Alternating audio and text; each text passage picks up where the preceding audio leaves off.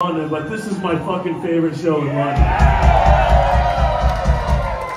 Thank you so much for coming and watching our band play.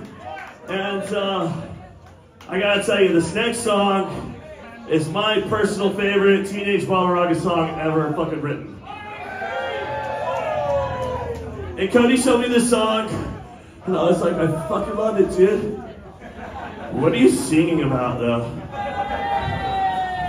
And my kid Milo's like, dude, he's singing about Minecraft, you dumb dick.